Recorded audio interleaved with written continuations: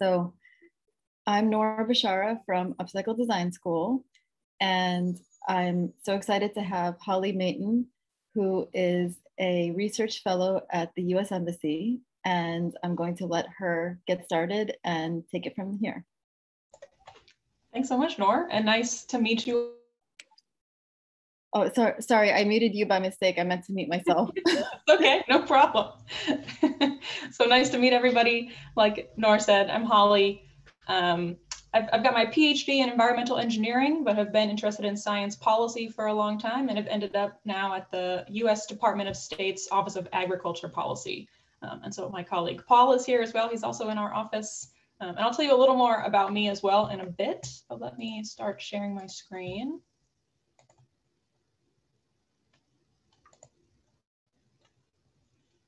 Let's see, you guys can all see those slides okay? See some nodding. Awesome. So I'm excited to be here and to tell you all about sustainable cotton through biotechnology, which is something uh, that we work on a lot um, in our office um, and something I've learned about a lot recently. Um, and I learned a lot specifically about cotton in preparing for this presentation. So I'm really excited to share it with you all and uh, see what you take away from this information and um, yeah, just kind of have a cool discussion. And so uh, just a little overview of what we're going to go through today. As I mentioned, I'll tell you a little bit more about me and my background um, and my connection to sustainability and to agriculture. Um, and then we'll talk kind of broadly about sustainability and biotech, cotton, and some background there. And then I've got three case studies I pulled out from three different countries um, of where biotech has enabled cotton to be produced more sustainably around the world. And then I'll just briefly talk about some of the bigger picture things related to biotechnology, other crops and other benefits that might have. And then we'll have some time hopefully for, for Q&A and any, anything you guys want to talk about.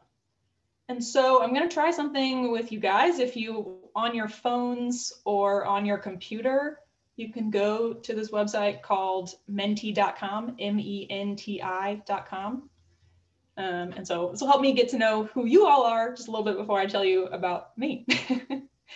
and so once you're at menti.com, you can enter this code that's on the screen 6988 5821. And let's see if I can switch, oh, which screen I'm sharing. Real quick.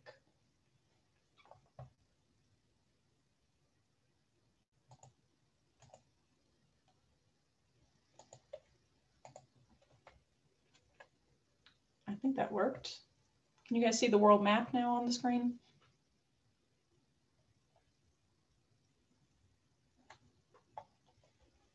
So I've never tried this, this little map before on Menti, but you should be able to drop a pin. And I know Nor just asked this question, so maybe this one is, no, this one.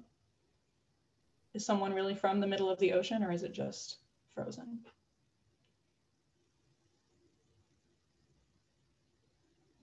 Yeah, mine worked. Mine let me drop the pin, but now it says, uh, please wait for the presenter to show the next slide. Hmm.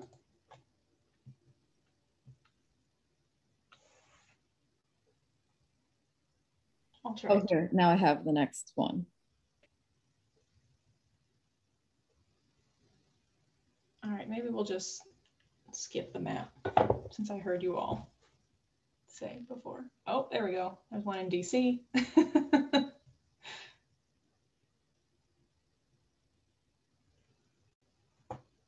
All right. Thanks people who dropped their pins. I have a few more questions on here if folks are able to get to menti.com. I can wait a minute too if people are, are navigating there.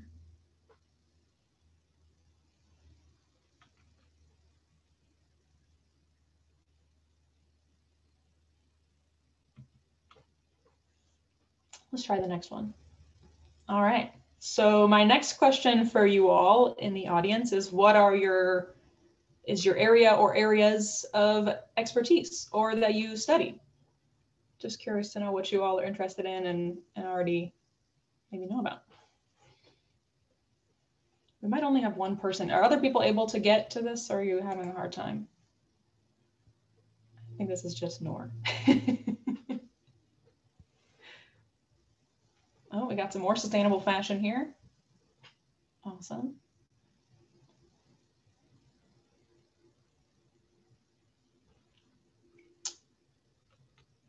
Right, that's good. I'm glad we have some people who have been thinking about sustainability a lot.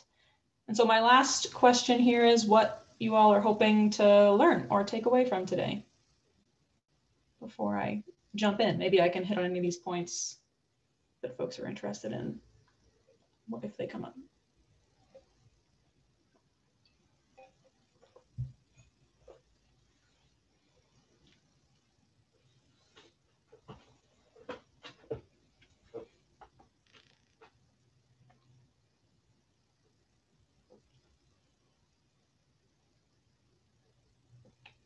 We'll definitely talk about sustainability broadly. So that's a good one.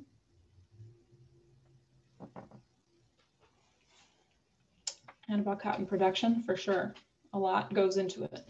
Uh, so I learned. oh, good. The comparison with organic cotton is something I, I added at the end that I'll be curious to get you all's feedback on. So that's good to see. All right, so let's see if I can switch back. I'm really using the technology today. So are we back on my slides? You guys can see this now. All right. Yeah, we can see the slides. Excellent. Uh, so thank you guys for that quick poll. There'll be a few more later, so don't lose that Menti link. Um, but as, as, I mentioned at the beginning, I'm a little bit of an untraditional person to be working in policy. Um, I've been a lot of different types of engineer over the course of my career. I started out as a chemical engineer in undergrad. Um, I really wanted to work on uh, energy sustainability at the time. I was doing a lot about uh, using waste to energy systems, uh, studied some nanotechnology at the time and worked in a research lab. Um, and then decided to, to get my PhD because I felt like I wasn't done learning. And so I, I went to a program where I was studying environmental engineering uh, and really looking at water quality systems and the food water water energy nexus um, and did a lot of research on how different bacteria move in water. Uh, thinking mostly about food safety but also about how contaminants move around the world in agricultural systems. And then after that I, I went and did a postdoc in a totally different type of engineering bioengineering. Uh, and for about a year i was a molecular biologist working on tiny proteins uh, and programming them to be able to break apart other bacteria cell walls. Um, and that was a lot of fun. But along the way, I've always been really interested in more of the application of my research and making sure that it benefits society rather than being the one doing the research myself. Um, and so that's what really led me to pursue this world of science policy and is what has uh, brought me to the State Department and the US government to work on how food and agricultural policy um, really can, can benefit the world through science. And so the, the common thread through all of these different types of engineering and work has really been agriculture. Um, as an undergrad, I traveled to Nicaragua several times with Engineers Without Borders, uh, worked in rural communities that really relied on, on cocoa and um, corn. And so that's kind of my first picture here as I was young and excited to be in a cornfield on a mountain. Um, and then in graduate school, I was studying really a lot of salad greens as food safety. And so I spent a lot of time in fields. That's me holding a head of romaine, freshly picked.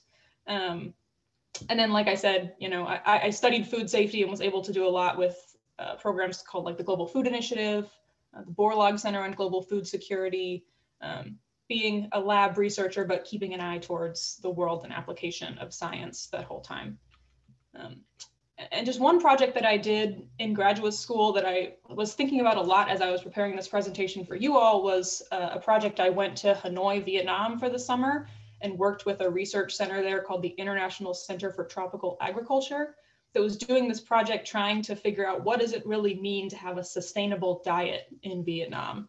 And so we did a lot of interviews with stakeholders, read a lot of other papers, looked at data for the summer, um, and there's a whole paper we publish that's quite academic around what it means to be have a sustainable diet in Vietnam based on kind of what the policy makers and the public thought there. Um, but I just wanted to pull out this one graphic to show you how complicated it, it really is and how different factors are going to be important for different parts of whether it's a food system or a textile system, whether we're eating it or wearing it. Um, I think more than just the production itself is important, right? There's sort of these, that's the gray here, are these, how is it produced, how is it moved around, and how is it used? Um, and then of course, for, for fashion and for food, of course, there should be almost another arrow there. But then there's sort of the next level of kind of immediate impacts and influences that go there for, for food. That's a lot of loss and waste and how safe it is. And there's even broader impacts and influences that we think about too with sustainable, right? Is, you know, how good is it for your health? How good is it for the environment long term? How, you know, does it make sense financially and economically? And so um, I wanted, before I jump into some of what I think is, is sustainable, um, is to ask you all what you think. And so let's see if I can switch again.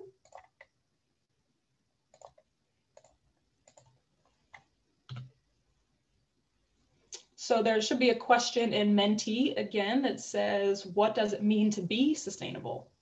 So I'm curious from, don't have to think too hard about it, but if you all have kind of a definition on your mind or a way that you think about sustainability, I'd just be curious to see it.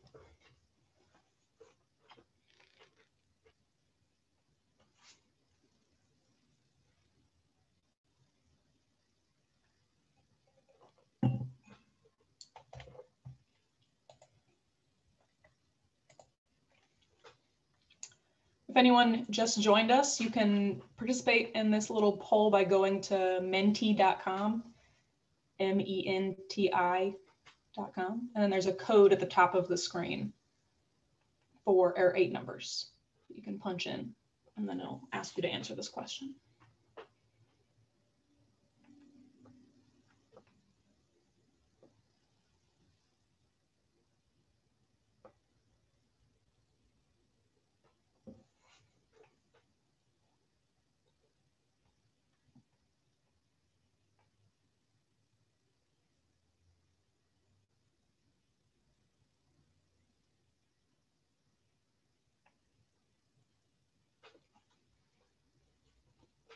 I got some good definitions to start with here. So not harm the environment or have a negative or having a smaller impact on the environment.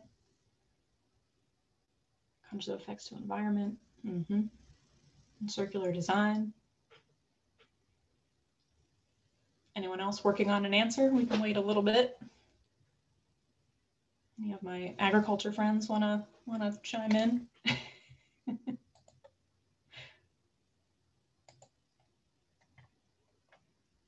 Let's give it one more, one more minute.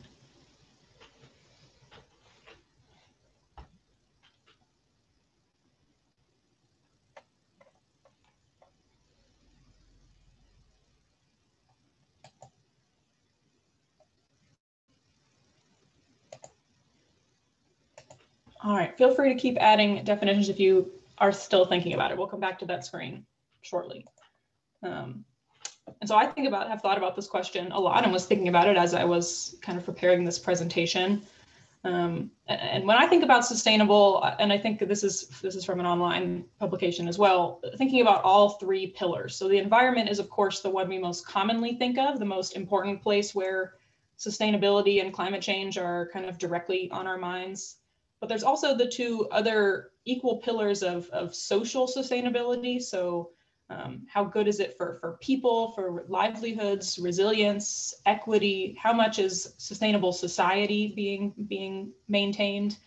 Um, and then the economic pillar, of course, which I alluded to with the sustainable diets graphic, right, is that is it economically sustainable? There might be something that's great to do for the environment, but is going to cost farmers tons and tons of money, right? So is that truly a sustainable solution in that case? So those three pillars are, are sort of how I framed this presentation and are how I thought about these three case studies that I think represent those three examples of, of how something can be sustainable.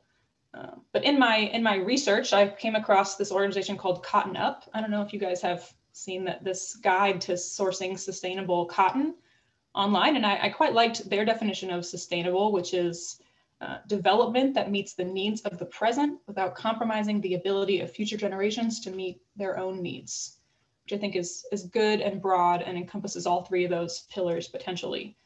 Um, and then they kind of define it even more closely. I took a screenshot from their website on the bottom here that they really, in terms of cotton production and sustainability, um, they really think about number one, reducing hazardous inputs and chemicals that are used in production, Think about water usage as the second category of sustainability. and then lastly, in, in, economic sustainability, are we reducing poverty um, and just alleviating economic burdens on farmers and on workers through cotton production to be truly sustainable?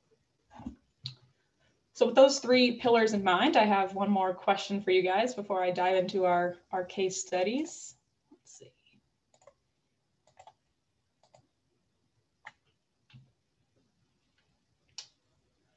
So this is just a quick poll, and we might just get Noor's answers here, unless anyone else gets on, on Menti.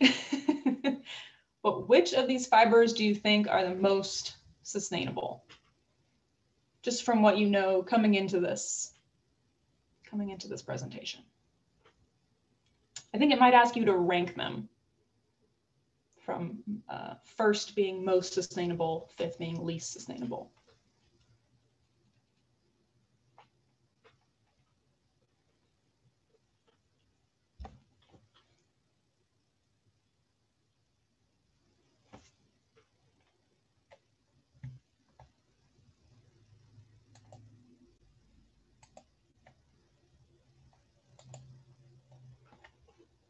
Hmm, we have some competing opinions at the bottom there.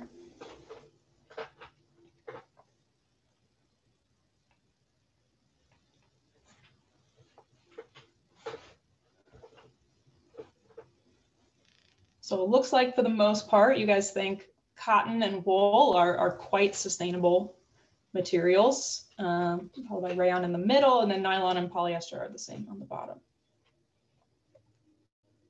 Martha's nodding, so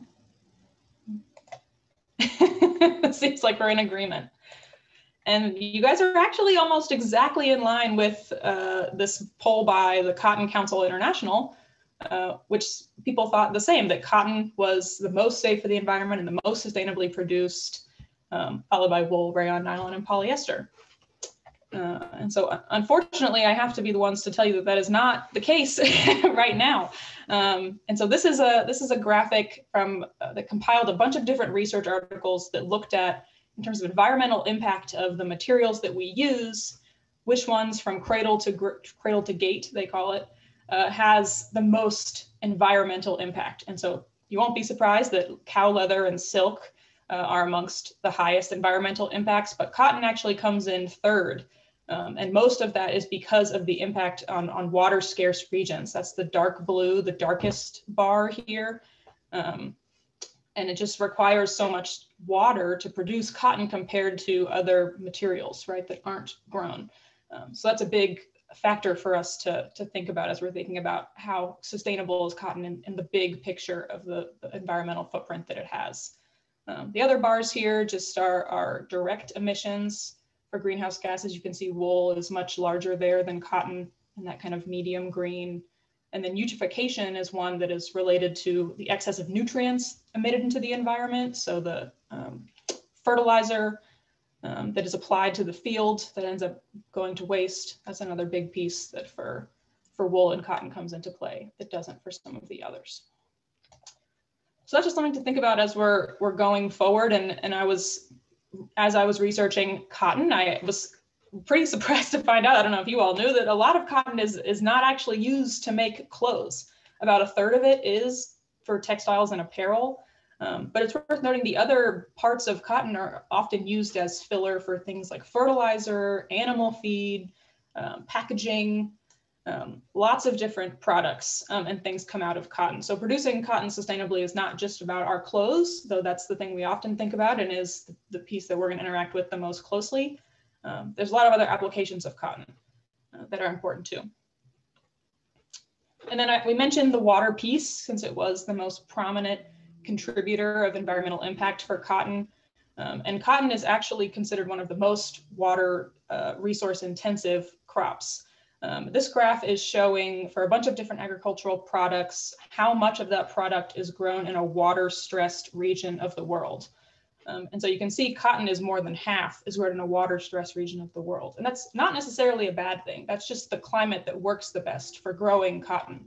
But that means we have to keep in mind how can we grow cotton as efficiently as possible so we're not doing further damage to communities that need drinking water and other cotton uses in the world. So lots of other crops on there as well. the ones that grow in tropical environments, of course, often aren't grown in a, a more likely a, a water stressed area. So just a few other things to think about in terms of cotton and the agricultural inputs that go into it. Um, so in the bottom here, you see that the land use that, for cotton around the world is about two and a half percent. Um, but pesticide use, total pesticide use in the world, about 16% of that goes onto cotton. Um, so there's definitely a lot of, of room for improvement there um, of decreasing the amount of, of inputs we have to use for cotton itself. Um, but of course, it does impact 100 million workers across the world directly um, and could be a lot, a lot more by their families and things like that. So that's something to think about too, is we're benefiting a lot of people um, in the economic and social sustainability as we, as we work on a lot of this stuff. So before um, we jump into some of the case studies, I wanted to give you sort of a, a broader overview about biotech cotton um, and some of the background. So I'm trying to move our faces out of the way. Um, so, so biotech cotton actually was first introduced and grown commercially around the world around 1996. And three of the, the first adopting countries were the United States, Mexico, and Australia. And, and this type of cotton, it's called BT cotton, um, was the, the product that's been grown most widely um, was actually just an adaptation of a of, of something they were already doing. So there's a a lot of pests that bother cotton, of course, around the world, um, and they were using this bacteria that produced something that was toxic to the pests. So if the pests eat this bacteria, Bacillus thuringiensis, thuringiensis, if the bacteria eat or the uh, the bugs eat that bacteria, they get sick and die. Uh, and so it sort of was an organic option for them to apply to the cotton. The bugs would eat it and that would protect the cotton itself. Um, since really like 1920, cotton growers around the world were using this. But of course, applying that bacteria, uh, you have to do that a lot. It requires a lot of labor. Um, it, of course, costs money to go out and, and buy it and apply it. And then you have to do it multiple times. If it rains and washes it off, right, your cotton is susceptible again. And so what biotech cotton did is they genetically engineered the cotton to produce this bacteria, this particular part of the bacteria that was toxic to the pests by itself. So farmers didn't have to apply it anymore. They could just grow the cotton that was already producing that. Um, and so from, from 1996 to 2007, uh, so over the course of about 10 years, uh, there was like a almost a 25% decrease in the amount of insecticides that had to be used in the countries that adopted this biotech cotton, uh, which is a huge huge success and it saved them a lot of money as well as environmental impact. Um, and then of course, there's even more we can do with biotech cotton in the future uh, as technology develops to make it resistant to more pests and even more conditions like drought and things like that. So that's just sort of the, the short summary of the most common type of biotech cotton that's used around the world. Um, and one more poll before we jump into the case studies from here.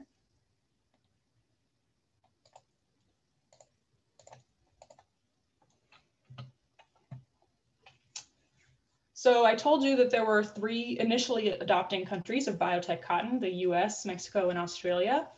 Um, and so how many countries do you guys think grow biotech cotton today around the world?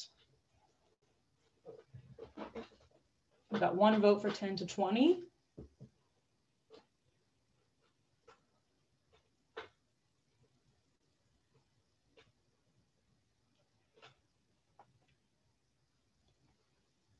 So everybody thinks somewhere in the middle. I'm glad no one thinks that we've slid back to zero at least.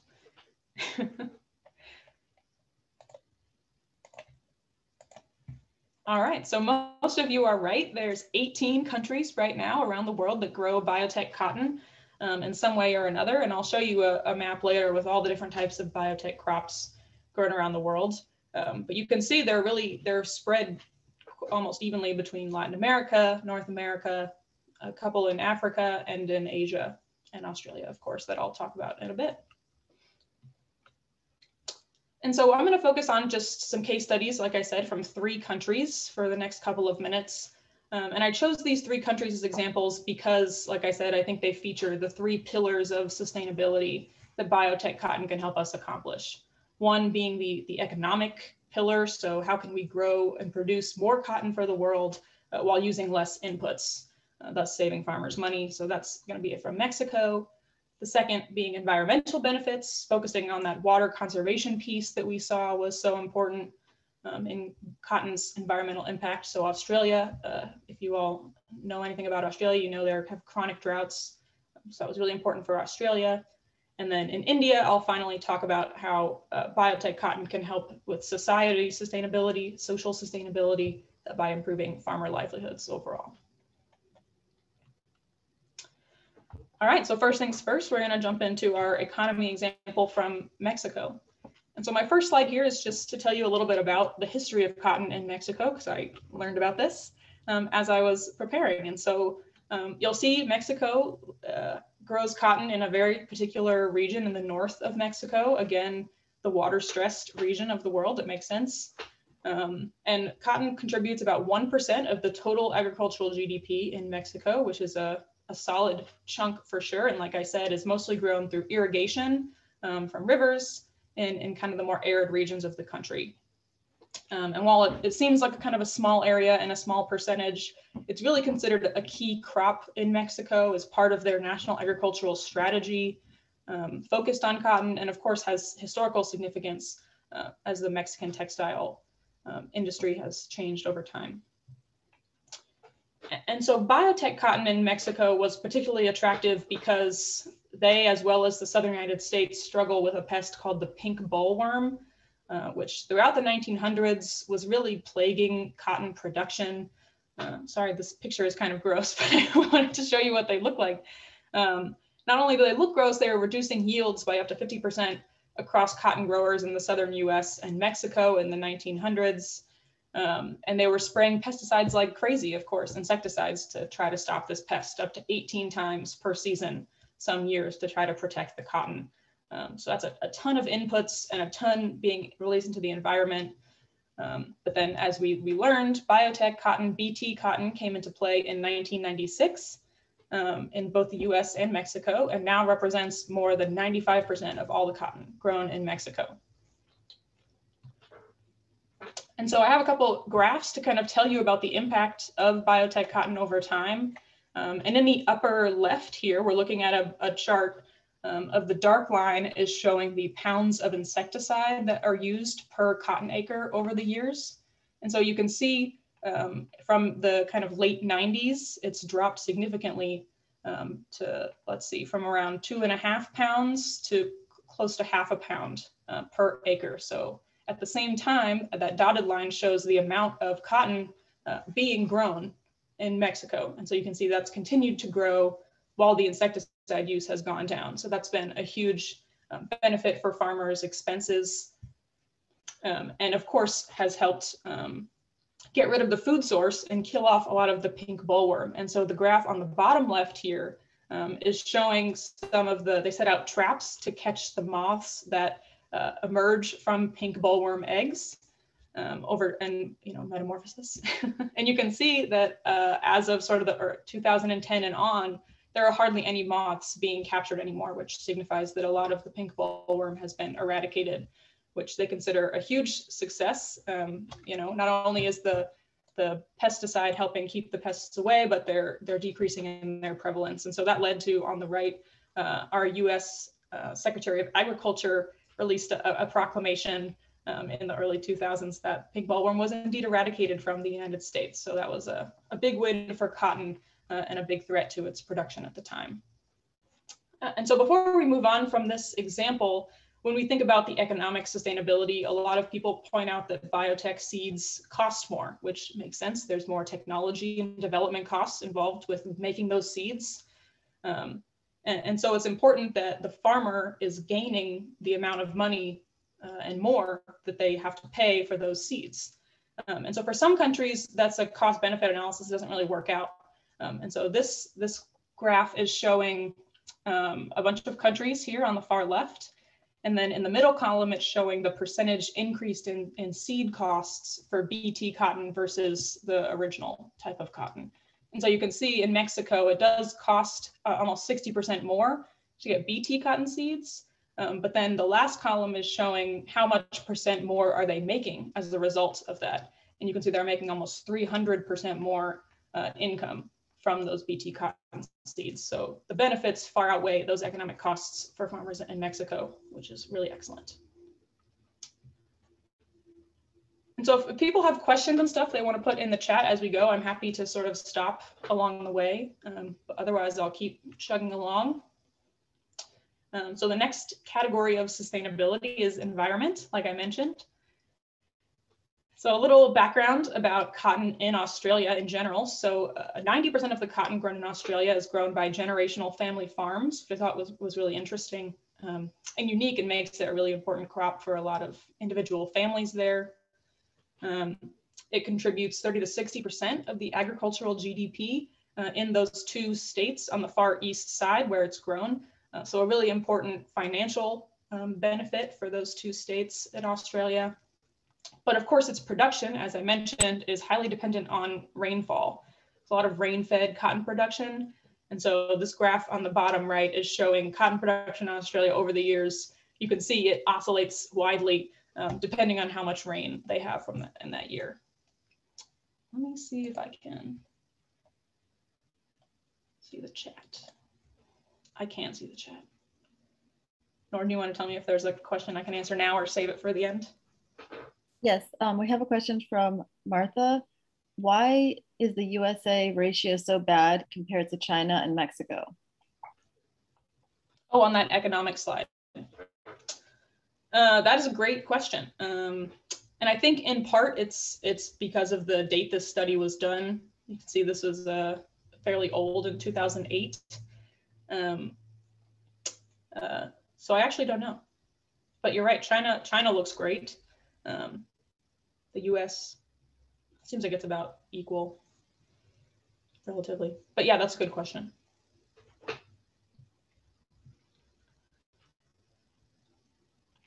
So jumping into environment, I wanted to say a little about uh, biotech cotton in Australia.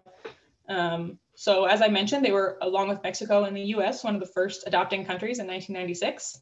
Um, and over the last 20 years have resulted in a 90% reduction in insecticide use, similar to what we saw in Mexico, um, which is excellent. So that's this, this graph we have on the right is insecticide use for cotton over time uh, with um, conventional and BT. Um, and of course, it, it now accounts for more than 98% of the land of the cotton grown in Australia. Um, so it's really been heavily adopted. Um, and a big reason for that is not just because of the pest resistance itself, which is wonderful, um, but I'll show you on the next graph, it's actually allowed farmers in Australia to adjust when they grow cotton, um, which has allowed them to rely more on rain and less on irrigation, which is costly and water intensive for them to grow cotton. So two, two graphs that sort of summarize this. I'll talk about the left one first. Um, it's, this graph is showing the prevalence of certain parasites or pests that are related to cotton and that decrease yields over the growing season. So that's January to July. Um, and so you can see from those, the dark and the dotted lines that the um, adult prevalence of these bugs is really at its peak in February um, which is correlated with when it's the most rainy in Australia because the pests thrive in the wet season. Um, but before BT cotton, that meant that to avoid spraying a ton of pesticides, uh, farmers, cotton farmers in Australia were just waiting until later in the spring to plant their cotton, which means that they missed the rainy season, uh, but they at least missed the pests as well.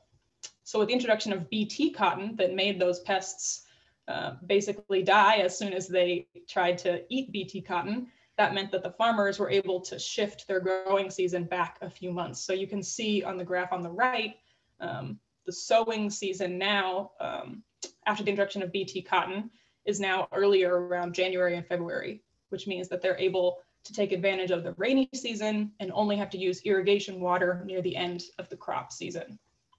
So that's been a huge benefit to the water intensive uh, intensiveness of Australia's cotton agriculture. And so here's just some kind of summary graphs of that. You can see that the total cotton production over this time from 2000 to 2011 has, you know, ebbed and flowed, but has ultimately gone up as a result because more farmers are able to grow cotton more sustainably. Um, And then on the right-hand side, these graphs over the same time are showing on the top solid line, the total yield of cotton in Australia. And you can see that's uh, gone up about 20%. And at the same time, the dotted line, the water application to cotton from irrigated sources has gone down um, about 10%, almost 10%. So that's been really great and has allowed Australian farmers uh, to expand their growth of cotton and do so in a way that isn't using a ton of irrigated water um, and having those impacts on the environment as a result. And so my last case study to jump into here is um, from India, thinking about farmer livelihoods and how BT cotton can, can, can help with that in India. And so again, kind of a, a broad overview of the cotton industry in India. Uh, cotton India is one of the top cotton producing countries in the world. Uh, they produce about a third of the global cotton area, um, or they have about a third of the global cotton growing area. Uh, and it contributes 30% of their national agricultural GDP. So if you remember, compared to Mexico, cotton was about 1%. Uh, in India, it's about 30%, uh, which is a, a, huge contribution to farmers. Um, and then similar to the stat we had for Australia, I found this um, really interesting that 85% of the farmers that uh, grow cotton in India are in the marginal and small farm category, so less than two hectares of land total. Um, so that means that there's a, a lot more farmers being impacted by changes in technology and cotton production, and a lot more families that stand to benefit uh, than in some of the other countries with large farms and large uh, kind of industrial cotton production. And you can see on the graph on the right, just if you're curious, uh, it's sort of the western side of India that has the environment that suits a lot of cotton production.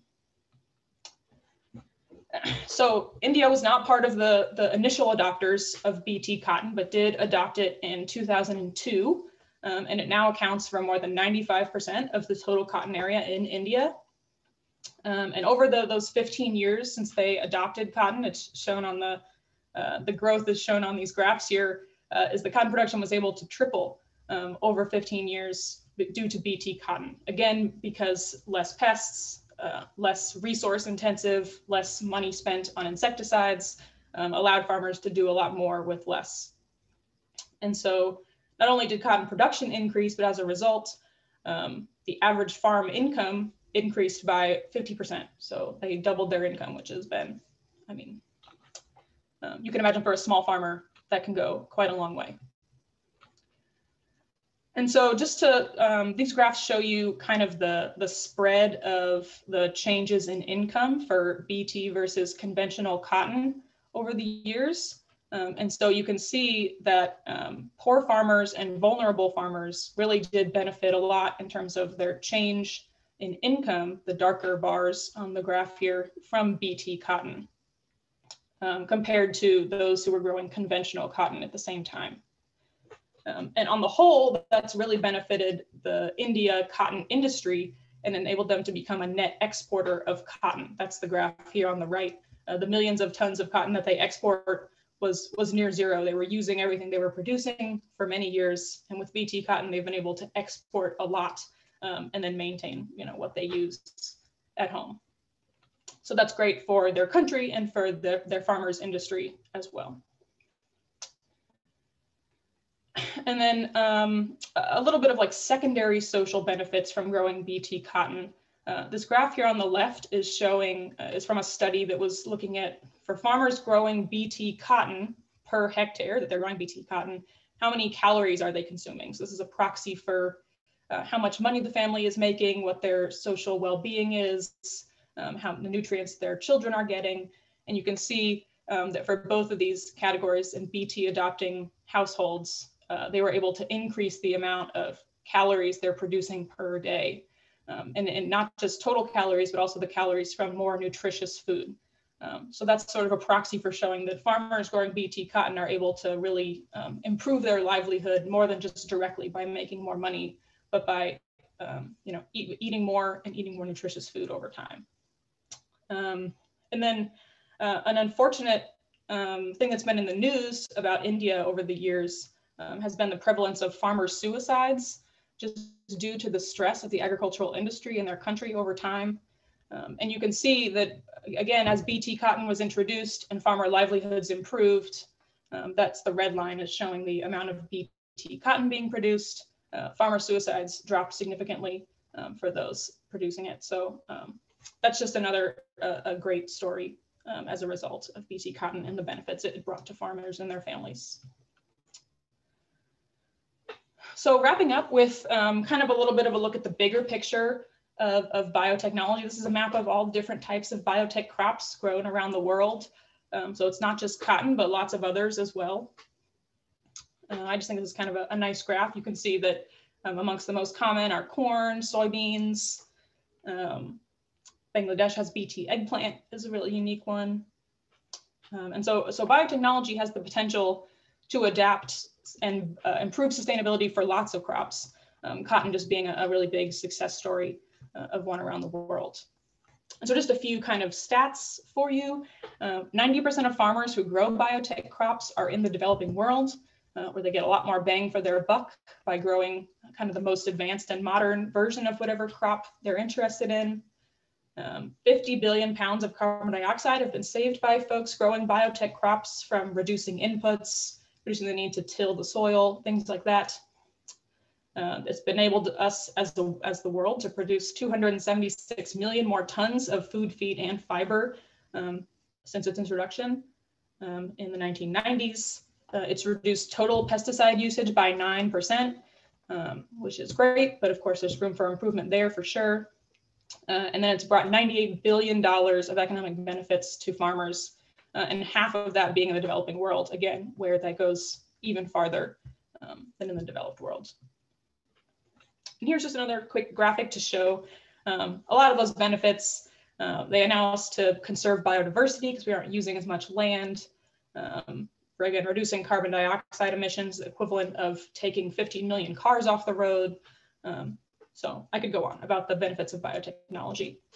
Um, but for the sake of time, I wanted to get to um, some of the comparison to organic agriculture, um, in which the big thing that we think about is land use.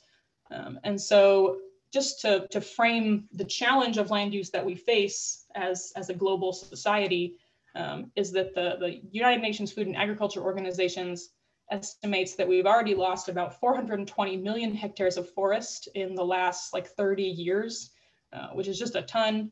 Um, so the size of India and Pakistan combined is what's been lost. Uh, and a main source of this loss has been the expansion of agricultural production, right? We have to produce more food, feed more people, um, and that means we're losing forests and biodiversity to do that in some cases. And this graph on the bottom here is showing since the 1970s, uh, the world population has of course continued to grow and is expected to continue to grow over time. Um, and as a result, the amount of arable land that's actually available for us to grow food uh, is going down. Um, uh, and often because of urbanization, right? We need more space to live, more space to park, whatever it might be. Um, and so the amount of land we even have to work with to grow food uh, is getting smaller and smaller all the time. And so just a quick poll for you guys before I jump to this next slide.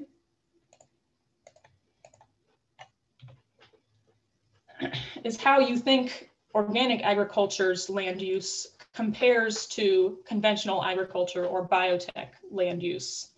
Uh, and so do you think it requires significantly less land to grow cotton and other foods organically? Do you think it requires more land? Or do you think it's about the same?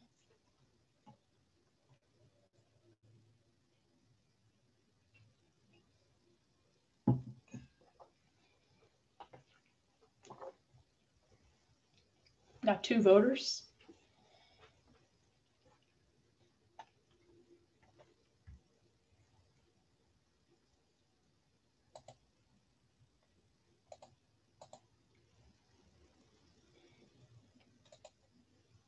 All right, so everyone thinks it requires either about the same or less land to grow food organically. um, so in fact, organic agriculture requires significantly more land, about 50% more land to grow food organically. Um, and that's because they aren't using biotech crops, um, which increase the yield per acre. Uh, and they aren't using a lot of the pesticides and things that um, are synthetic but protect crops um, from pests and weather and different things like that. Um, and that means they just need to grow more and take more land uh, to produce the same amount of output, whether it's textiles uh, or food. Um, so just a few um, little graphs here. So this was looking particularly at wheat and peas was this interesting study that I found um, in which organic uh, carbon dioxide equivalence was actually, when you account for land use specifically, um, required a lot more um, to produce the same amount of food. Um, and so a, study from, let's see, this was from the Journal of Cleaner or Nature Communications, um, was looking at, okay, how much land would we actually need to grow all of our food organically by 2050 if we wanted to convert it all. Um, and that study showed that we would need 33% more land than we have and would require 15% more deforestation um, in order to do that. And so there's certainly room for, for all of these um, types of farming to coexist, but in a lot of places, especially in cotton that is grown in really water scarce areas, um, there's a lot of benefits that it can offer in combination with, with organic farming. And just to leave you with, with one more chart um, of a study from in of US crops specifically that looked at what are the, the yield gaps in terms of amount of product per acre. Uh, what's the gap between growing that product organically or conventionally? Um, and cotton is the number one highest yield gap, meaning you get 45% uh, less cotton um, when you grow it organically versus conventionally, um, mostly the benefits of, of biotech cotton. So that's all that I have. I have definitely room for questions. I also have a quick slide if folks want to share their takeaways from this presentation, um, but also curious to just have a discussion with anybody who's got ideas or, or questions.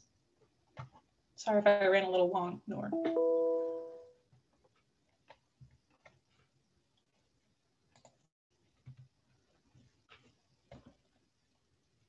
We can do one more quick Menti if you guys are still on that slide or on that website. I was just curious what, what everyone's takeaways would be from this presentation. And I'll try to, I think I can probably see the chat now.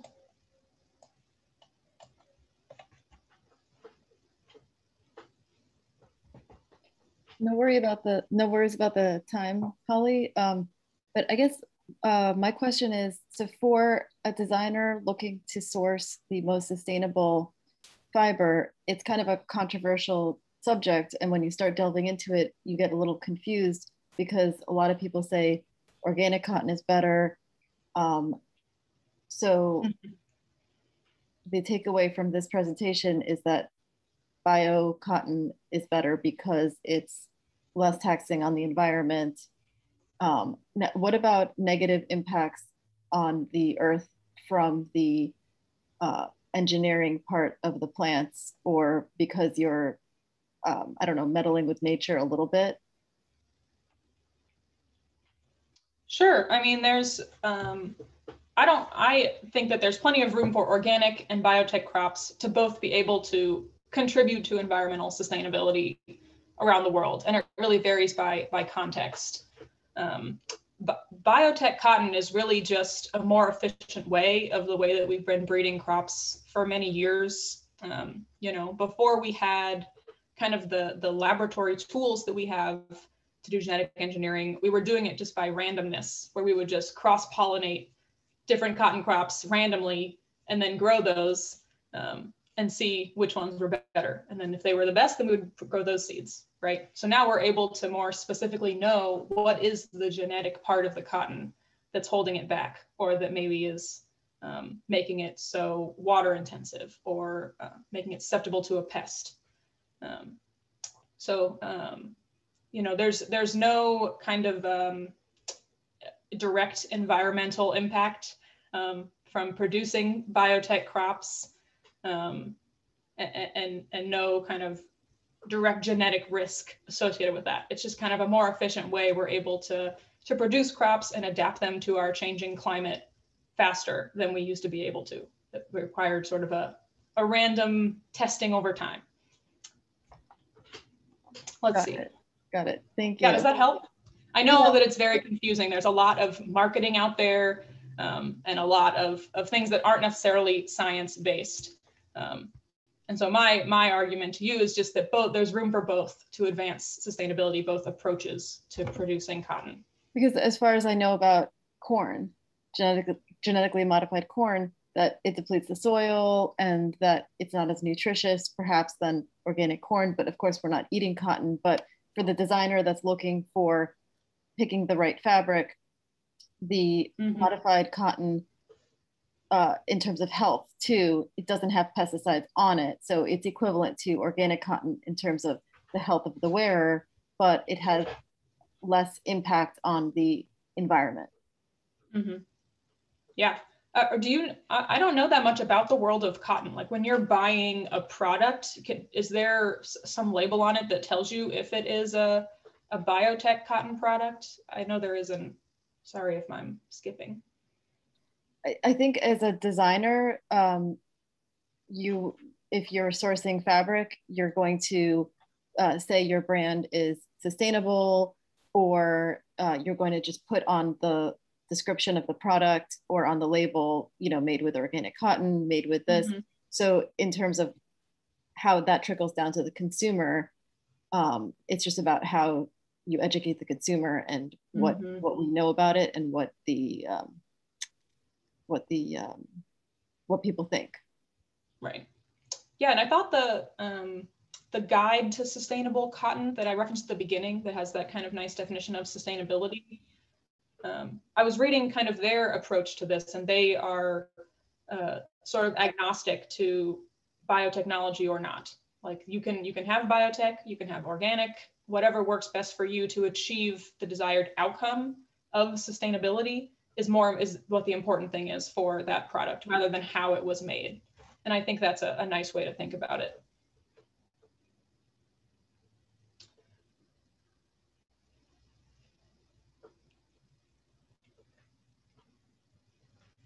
Other, I think Martha, we answered your questions. Um,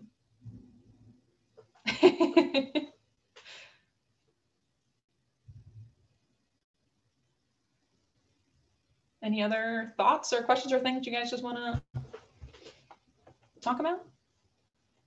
I'm interested as um, kind of folks from the sustainable fashion side, like what what did I not cover that you think is interesting, or that um, you might have wanted to learn about? Because I know there's a lot more to sustainable fashion than just how it's grown in the field.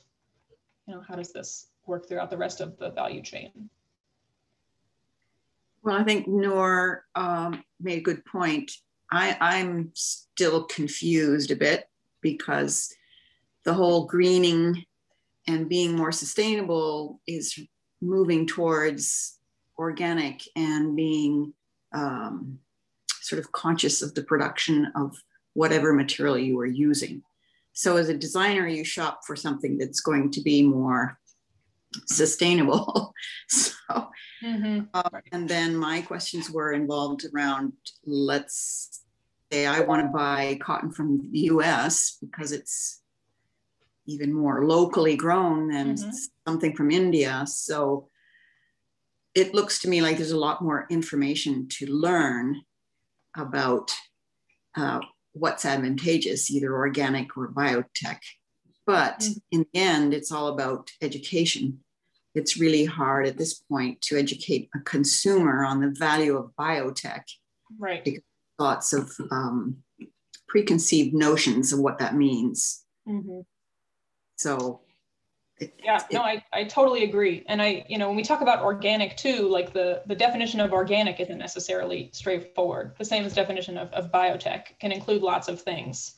Right. Um, and kind of to the point that I was making and that I, I think is something I've learned about recently is like are we are we focused on the sustainability in terms of the approach and how it's produced the methods used or are we actually focused on the outcomes of what it's actually enabling and changing in the environment and in society? And the kind of organic label um, that we're used to is really focused on approaches and how it's being produced and not as much on the outcomes because they're harder to measure. That's totally true. And so yeah. um, it's definitely an ongoing education and, and conversation for everybody. Good points. Nina has a good question in the chat is, are there other plants used for fiber on the GE list? And I actually don't know. Nina, are you asking because you know? I'm gonna go back to that slide.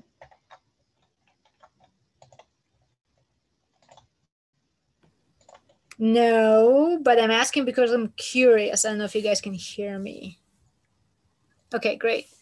Um, because, um, you know, personal history, I uh, worked in a lab that did some work on switchgrass. I don't know if switchgrass has any potential. Um, mm. uh, flax, I don't know if anybody's working on improvements to that. And I do um, know that hemp as a plant, um, in a way, is kind of a study in breeding improvement. It's a case study in breeding improvement um, before genetic engineering. It responds really well, apparently. Not that I'm a hemp breeder, but I think if somebody were to go into hemp breeding, it would be highly rewarding because apparently hemp uh, responds quite well to adjustments. And I didn't know hmm. kind of what cool. um, where where I'm originally from Ukraine, and historically hemp is a very widespread uh, fiber.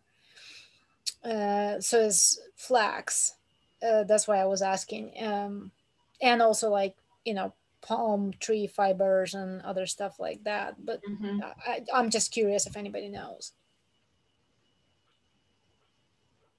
Definitely keep an eye. I've definitely read kind of research about all of those as biotech crops, but I don't think any of them are commercially grown. And I've heard recently that um, bamboo, even though it's thought of Ooh. as being an excellent fiber, actually takes a lot of resources to process. So it's sort of oh. not on the list anymore of a sustainable fiber because mm-hmm. of the the um, resources it uses to produce. So it, hemp, yes, is growing more and more to be, uh, you know, it's going up the scale in more sustainable uh, fat fiber to use all around. So, nice. That point, I think it's, it's a really good point. Though. Yeah.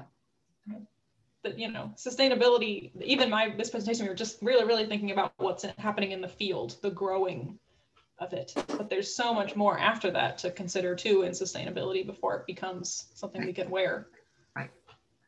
And so, so when you say when you say uh, choosing bio cotton versus organic cotton, that there's not necessarily one best choice. That it depends on your needs. Um, does that apply to depending on the location where it's grown?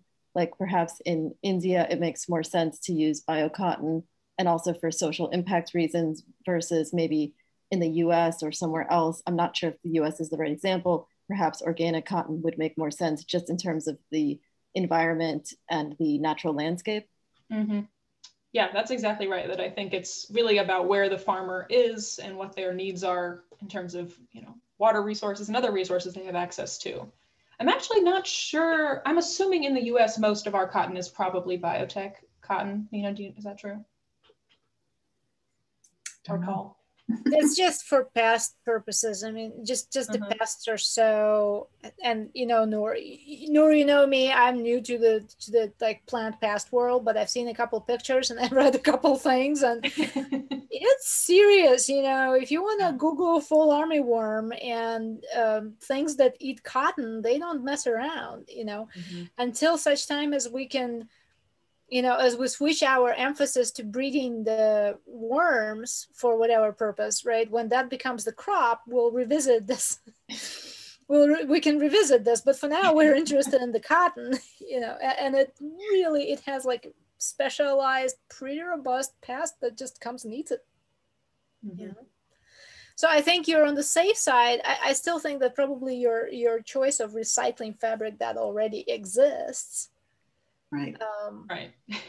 that's why. That's why I just went straight. To, that's why I do upcycling because when I started delving into what is the most sustainable fabric to use, what is what does sustainable mean?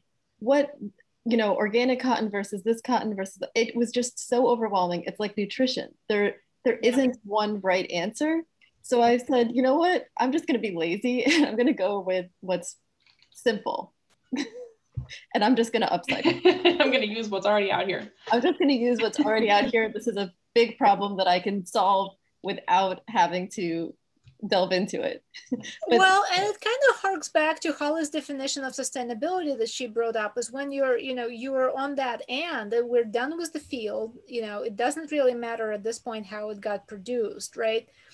It's it's what happens afterwards. It's the life of the garment, you know, it's it's the diversion from the landfill and creation of opportunity and jobs, which is the economic sustainability in the process. Yeah. Which is why i think you know this fits the it all fits together. Yeah. Yeah. And and th- this is interesting to delve into another side of sustainability also for me. And mm-hmm. And a lot of the designers and a lot of people in my audience also they don't just do upcycling or they're not just interested in upcycling so it's it's uh it this has been really interesting yeah yeah, well, thank you guys for your good questions. Oh, and I'll put a link in the chat. Yeah, I just wanted to chime in real quick because I was wondering the same thing myself. I just uh, did a quick look on USDA's website, and according to them, 88% of U.S. grown cotton is um, is is biotech as of 2018. Okay. So not all of it, but a significant majority. Nice. That's great to know. Mm-hmm. Thank you so much, Holly, for yeah, being here for today. And um, thank you guys for joining us. And once again, I'm Noor Bashara from Upcycle Design School. The recording of this workshop will be on the blog at upcycledesignschool.com and will also live on YouTube. So feel free to rewatch it later and I will be um, emailing out when the post is ready. So thank you guys so much and hope you guys have a great day. Bye. Thanks so much. Bye, everyone.